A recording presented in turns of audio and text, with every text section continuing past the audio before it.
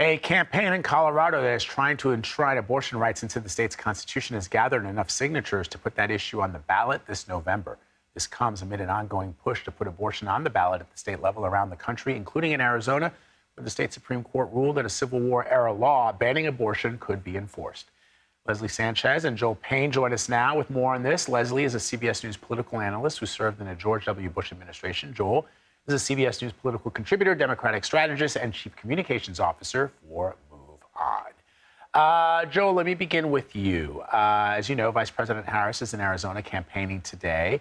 Um, it's interesting to me that for years and years and years and years, Republicans uh, campaign on abortion rights. Mm-hmm. Uh, they campaign on overturning Roe versus Wade. Uh, and now that has come to pass. And when you see where states ultimately can take the repeal of this landmark decision, you see some Republicans, Joel, saying, wait a second, didn't expect it to be uh, like this because they see the writing on the wall, which is that the country is not in step with what we're seeing in Arizona. So well, they're not exactly saying, wait a second, I didn't expect to see it like this. Their messaging might be a touch different. Yeah, so you know expl- I mean? break that down. I mean, what we, what we heard from Donald Trump, and it, there's another question about Kari Lake, so we'll just throw it out there. What Kari Lake is, I think, a really good example who had called this, you know, civil uh, war era ban a great law and now right. she's sort of flip flopping right. on that. That's what a I'm... little bit, take, not necessarily taking the lead, uh, but a little bit following Donald Trump, who came out and made this statement. Everyone's waiting to hear what his position was on abortion, and ultimately, what the statement was was that I, we should leave it in the state, uh-huh. the states to decide. Right. Um, and, and, then when the states and, and did anyone decide, who wants to make a precious little baby should should be allowed to do so, as he said. But what he didn't say was, I would endorse or pursue a federal ban or a federal 15 week ban. He did not. Which his opponents that. believe he will pursue once he's president. But yeah. for now, Joel, he okay. has to say, leave it to the states. But even when the states decide, he says that he thinks they may have gone too far. Yeah, and imagine uh, how voters are receiving the conversation that you both had to go through just to explain what's going on. Right. And I think, I think that's kind of the subtext here. Um, this is, by the way, where someone like myself or Leslie will insert the dog caught the car because it did. Mm. Republicans never had a plan for what they would do after there was a seismic change in the national abortion mm. standard, mm. Roe v. Wade, and they are currently um, dealing with the mess that they created. Um, they pushed too far on this. Um, they pushed far beyond what any um, uh, large swath of the American people wanted to do on abortion. The American folks have been pretty clear that they believe that Roe um, or something close to Roe should be the standard.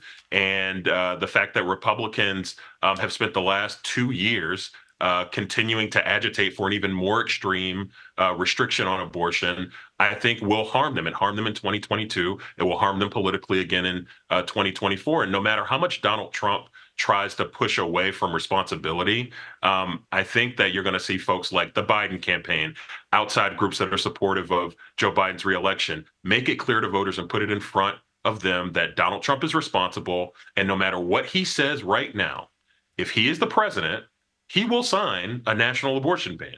Period. End of story. So, Trump will so, put in it. So, Leslie, obviously, keeping abortion top of mind uh, is advantageous to the Democrats as we head towards November. But I'm sort of curious. This what flip flopping might be too strong of a word, but this like dancing around the abortion issue that you were seeing Republicans do. Does that even matter to Republican voters? Because hmm. I was thinking, well, who are they going to vote for? If they don't vote for Donald Trump, I mean, were they going to vote for Biden anyways? Maybe we're kind of being critical, but maybe it doesn't matter.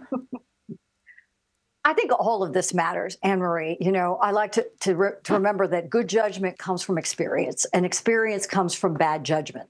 And that's what I think you have. And I think Joel really hit that on the head when he's talking about did Republicans have a national conversation and a national agreement on where they were on this issue? And I would even argue that Nikki Haley raised that issue, uh, that there was not a an empathetic, comprehensive, modern way to talk about abortion rights and still protect um, you know the right to life and balance those two out and this kind of weaving back and forth is exactly uh, the position Republicans are in now. And, and and there's nothing women love more than hearing a lot of men talk about their reproductive rights. Can I just say that right there? That's part of the hand wringing.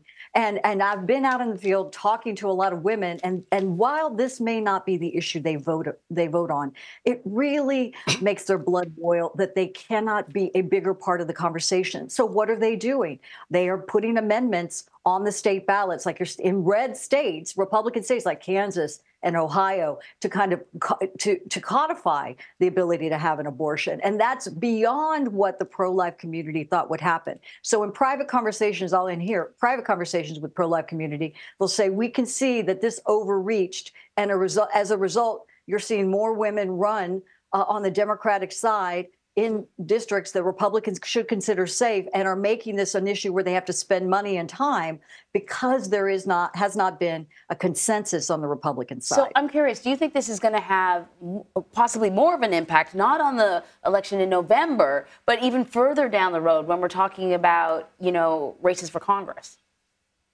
I think we have to back up and look at this holistically post 2022 look at the number of women who've decided to run for office look at the people that are starting to make this all the the money that joel's talking about uh, that's going into coffers specifically on this issue single issue voters is it enough to really make it a national wave when we know economy, immigration, and other issues are top of mind for voters? No. But in those battleground areas is costing a lot of money and a lot of time and a lot of confusion and a lot of stress, especially when you add in their IVF protections, which we see from our CBS, you know, uh, poll has 86% su- uh, public support. So there has to be attention to this sooner rather than later on the Republican side. But on the Could flip I side, just add? yep, go ahead, Yeah. Joel.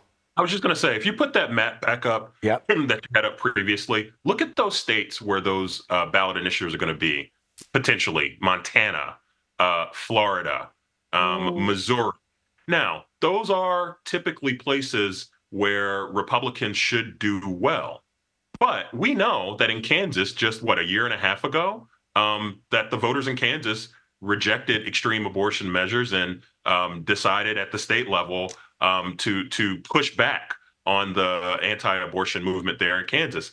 There's a potential that they could do that in Missouri, and that could harm someone like Josh Hawley, who's up for reelection, a Republican. It could harm Tim Sheehy, who's challenging Jon Tester in Montana. So the downstream impact that it's having on Republicans um, across the country is something not to miss here as well. All right. Uh, Leslie, Joel, always great talking to you guys. Happy Friday. Have a great weekend. Thank you.